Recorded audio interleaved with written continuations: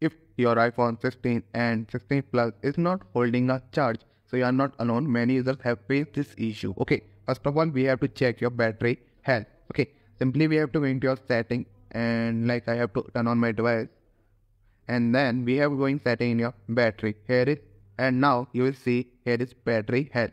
If ensure that your battery capacity is above 80%, it is significantly lower. Consider getting a battery replacement. Okay, you have to remember this thing. And my battery health is normal, so there will be no problem. Like you can see, capacity is 100%. Okay, that's how you can check this. And also we have to disable your background app refresh.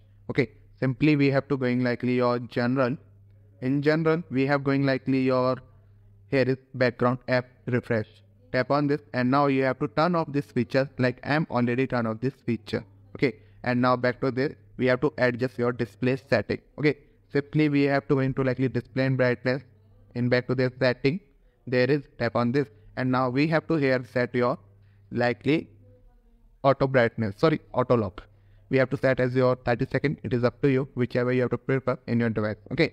So for refresh rate likely this one is working. Again going to display setting. And here raise to wake display zoom. It is up to you.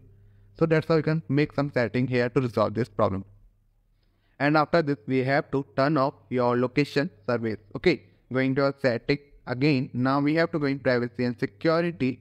There is and now we have to go in location service. So i'm already turned off my location service in my device. You have to also turn off this picture in your device.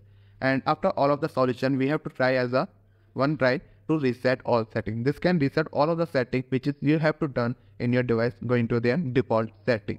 Going to again likely your privacy and security. There is. And now, no sorry, this is in general. There is general. here we have to go into likely transfer reset iPhone. Now reset then reset all settings.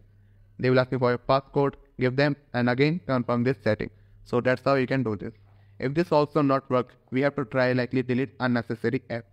Some app have a reported improvement by deleting specific app, such as calendar app that may cause excessive background activity. Okay, and we have to also use low power mode. Activate low power mode when you need to your battery to last longer.